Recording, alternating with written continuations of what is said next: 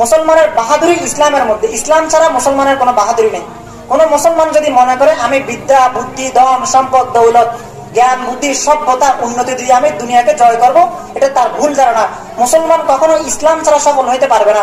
মুসলমানের বাহাদুরি ইসলাম ছাড়া কোনো কিছুতে নাই। আজকে হয়তো আমাদের মনে হইতে পারে যে ইউরোপ, আমেরিকা এত বড় বড় সভ্যতা, তাদের এত বাড়ি গাড়ি তাদের এত বিল্ডিং, তাদের এত বিজ্ঞানী। তারা হয়তো আমাদের চাইতে বেশি সফল। অথচ তারা বেশি সফল না, তারা জাহিলিয়তের মধ্যে আছে। তারা ওই জাহিলিয়তের মধ্যে আছে যেটা আল্লাহ তালা বলছেন। জাহিলিয়ত শব্দটা এমন এক শব্দ, যে শব্দ আরবি ভাষার শব্দ না, যে ভাষা শব্দ আরবি ভাষায় ছিল না, এটা একমাত্র কোরআন আমাদের সামনে নিয়ে আসছে। আফাহকমাল জাহিলিয়ত ইয়াবগুন? তোমরা কি জাহিলিয়তের বিধান চাও? তো জাহিলিয়ত হচ্ছে ওই জিনিস, ইমাম ইবনে তাইমিয়া রহিমাউল্লাহ একজন ইমাম ছিলেন, উনি বলছেন, জাহিলিয়ত কোনটা? আল জাহিলিয়ত হিয়া আদামুল ইমান ইমান না থাকার নামই হচ্ছে জাহিলিয়ত।